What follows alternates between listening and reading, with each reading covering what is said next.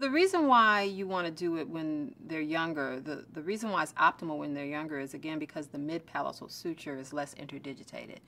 If you do it when that suture has maximally interdigitated, some people even use the word fused, which isn't exactly a perfect uh, definition.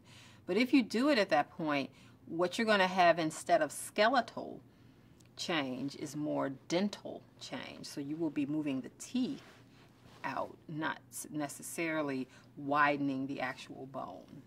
And this speaks to the fact that the diagnosis of a narrow um, upper arch could be because of dental reasons, meaning the teeth are just not far out enough, or it could be skeletal, meaning the whole upper arch, the, the maxilla is too narrow, and that's when you need to open it at that suture.